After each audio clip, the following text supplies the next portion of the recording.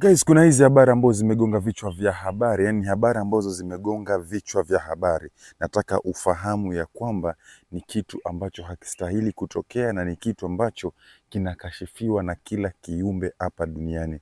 Yani you can just imagine mnaishi pamoja na mke wako ama mume wako, alafu kosa kwa sababu kama tunavyojua ya kwamba bana, zizi moja ama zizi moja, lile zizi ambalo tunalojua zizi la ng'ombe haliwezi likaishi mafahali wawili na wasigombane, lazima watagombana kwa sababu kila mtu anajihisi ya kwamba yeye ndo ndume pale, sio?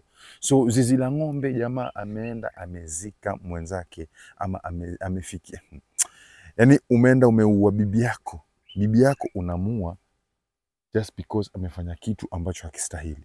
Of course yes, tunajua kabisa kwamba hakuna ndoa ambayo inakosa msukosuko. Lazima kila mahali ama lazima kila vitu ambavyo vinakaa pamoja. Hata tunasema wakati wote kwamba majembe mawili hayawezi akalima pamoja, ya kwamba lazima yatagongana. So kama umeamua umeingia kwenye marriage, there's no way that utaishi kwa hiyo marriage bila kugombana na mwenzako. Hakuna venye kwa hiyo marriage itaendelea na iendelee iko peaceful bila la, hata mkasema napenda I love you, I love you zote hizo itafika time lazima, you cannot tell me anything, lazima itafika time mtaanza kugombana, either maskini eidha tajiri. Kuna vile ambavyo mtagombana, na haimaanishi mkishagombana basi mufikie mpaka muane, na haimaanishi pia mkishagombana ifike mpaka mudhuriane mpaka mtoane damu. Da- da- yaifai Haifai kwenda huko. Kuna njia ambazo zinafaa kushughulikiwa. Kuna njia za koti, kuna njia za wazazi, kuna njia mpaka za wazee kumi, sijui wa mtaa, sijui wazee wa mtaa kumi. Sa una imagine this lady from Tanzania. Huyu msichana bado anatoka Tanzania sehemu fulani huko. Hizi habari zimenifikia na nikaona nizilete kwenu live kwa KG, sio? Msichana bana amegombana na mme na mke wake na mme wake, sorry. Msichana amegombana na mme wake na huo huo usiku, kwa sababu wanafuga ng'ombe na kuna zizi la ng'ombe pale, na kwamba tunavyojua ya kwamba lile zizi la ng'ombe ni ngumu sana watu ende pale, na pale sana sana huwa lile zizi la ng'ombe, kile kinyesi cha ng'ombe kinachwa pale kwa minajili yake. Minajili gani? Ili kufanyike vipi? Ili kile kinyesi kitumike kama mbolea. Sasa kama kile kinyesi kitatumika kama mbolea, kinatoa harufu ambayo hakuna mtu ambaye yuko tayari kwenda sikiza ama kwenda kwenda vumilia na ile harufu. So jamaa alikuwa na uhakika kabisa, hata akimzika mke wake pale, ile harufu ikitokea, ikishatokea, watu ni ngumu sana waende pale wakafukue, wajue ya kwamba kuna mtu amezikwa.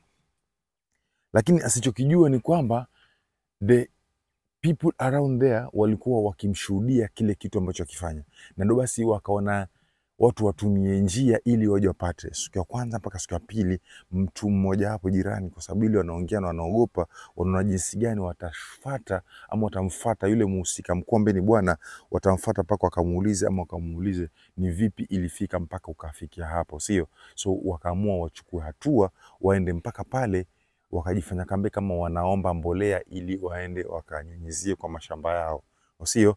So yule jamaa akajishuku, na alipojishuku ni pale alipowakataza, akawakataza akawambia, bana, mbolea yangu mimi nimehifadhi na siruhusu mtu yote kuchukua mbolea yangu. Ndio ikabidi basi wakajuazi kabisa, hapa kuna kitu ambacho kinaendelea, lakini anatuficha. So what next, kitu ambacho alichukua hatua ni kuenda kwa chief na kwenda shtaki kwa chief area ya kwamba bana, kuna kitu fulani na fulani kimefichwa na ni siri ya mtu fulani, so twaomba mfanye uchunguzi wenu ili mwende mkamkamati na tujue kile kitu ambacho kilizikwa pale. Ndio pale wale polisi uh, walipofanya ile hatua yao ama walipofanya ile uchunguzi wao, walifikia kijijini kwa yule mzee na wakienda mpaka pale wakamuuliza ili kumuinterrogate tunasema, na wakafukua. After kufukua wakapatana na kile kinyesi ama wakapatana na pale ndani ya kinyesi, ndo akapatana na ule mwili wa yule mwanamke amezikwa pale. Wallahi, yahuzunisha, yasikitisha. Ni kitu ambacho hata wewe pia mtu akikupa hizi habari utahuzunika, na cha msingi ama kile ambacho kilimfanya mpaka akatoa mauti wake, tukifuatilia ama ilipofuatiliwa, ilionekana ni ugomvi wa yeye kupatikana na mwanamke na mwanaume mwingine. Sasa ugomvi wa huyu jamaa wa huyu jamaa ilikuwa ni kumshika mwanamke wake na mwanaume mwingine, na hata sio kumshika live ama sio kumshika kwa chumba chake, no, ni video ambayo alitumiwa na mtu wake ambaye alikuwa anamdai hela, na zile hela alizokuwa eh, lakini dunia ina mambo. Yani wewe unadai mtu hela, yule mtu kwa sababu unamdai na wewe umemwonyesha jeuri ya kwamba haumlipi, amefanya juu chini mpaka ampata na mke wako, ametembea naye na baada ya kutembea na mke wako akamchukua video akakutumia kwa ishara ya kwamba wajifanya ya kwamba hunilipe pesa zangu, nimefanya hivi kwa minajili ni kuonyesha ya kwamba nimekuadhibu ama nimejilipa ile hela yangu ambayo nakulipa, ile hela yangu ambayo nakudai. Sasa utamfanya nini? Ametembea na mke wako mpaka wajiuliza, okay, ukishatembea na mke wangu ndio utajilipa. Na huyu jamaa naye pia kwa zile hasira alizokuwa nazo na ile aibu ambayo alikuwa nayo ama ile kisasi ambacho alikuwa akonacho na yule jamaa, akaona afadhali amuue huyu mke na aifanye siri ile kifo cha huyu mke akifanye siri kumzika.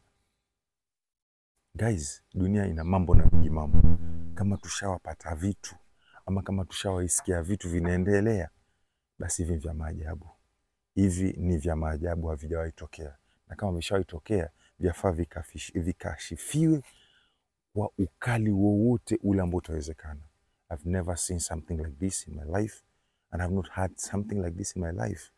Najua watu hugombana, najua watu hukosana, najua watu hurekebishana, na najua watu hupigana kabisa kwa sababu ya kuwa washagombana, lakini mambo ya kwamba umfike mpaka umuue mke wako, mme wako, ukamzike kisiri kwa matope ya mavi ya ng'ombe, kinyesi cha ng'ombe eh. So guys, uh, have a lot to talk about it and this is KG Kipande guys, please make sure you subscribe, like and share the video. See you.